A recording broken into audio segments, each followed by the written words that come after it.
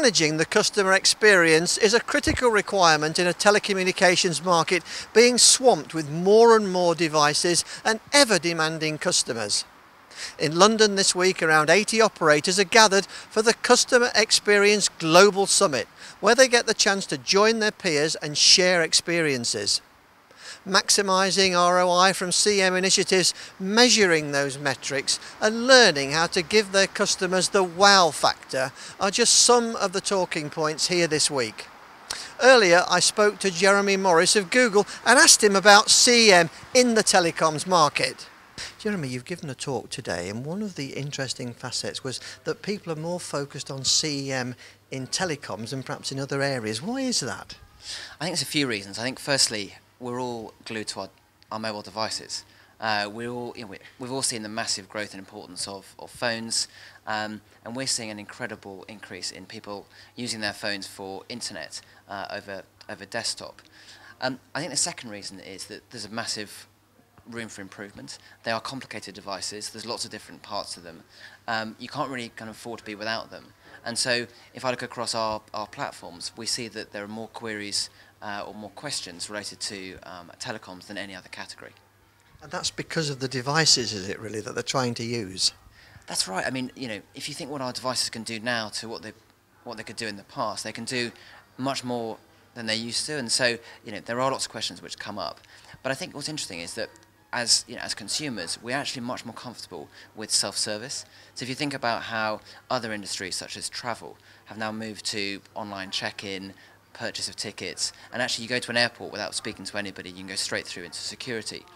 It's the same aspiration that I think a lot of clients have around mobile phones. They'd like to actually engage on a lot of the basic queries without having to talk to people.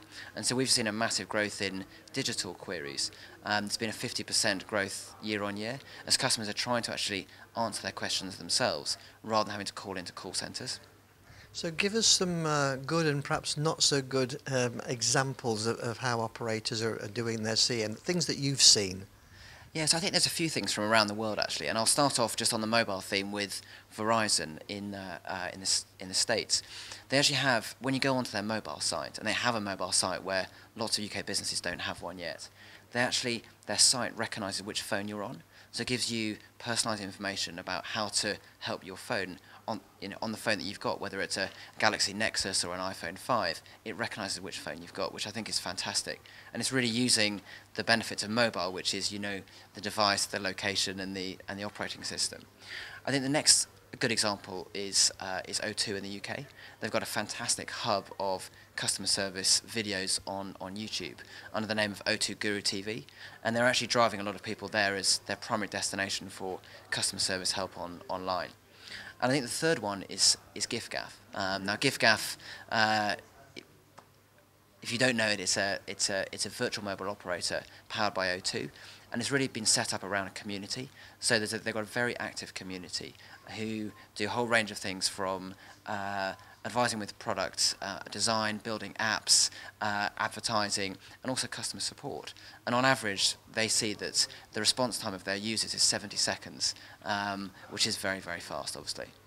Now, on the not so good side, I'm not asking you to name names here. Give me a couple of examples of where you've seen something and you've thought, oh no, that's a nightmare.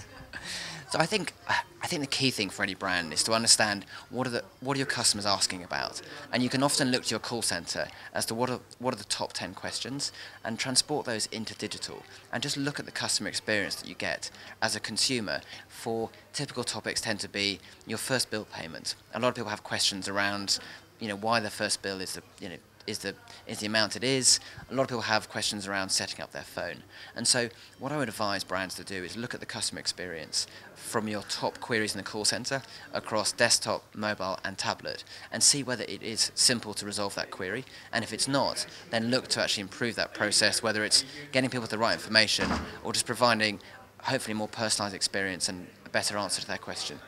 And where do you see uh, CM sort of going forwards? Give us a few a futuristic look from your point of view. So, what I think is going to happen is that mobile is really going to take a central role.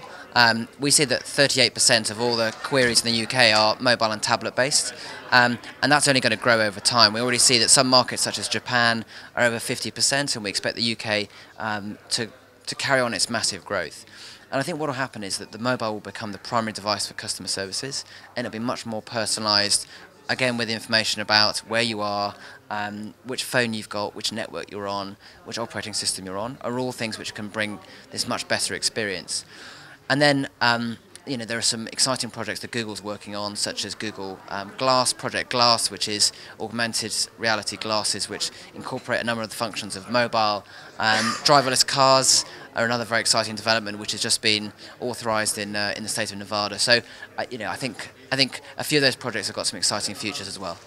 Well, it sounds like there's some exciting times ahead for everyone. Uh, in the meantime, thanks very much for talking to us. Thank you.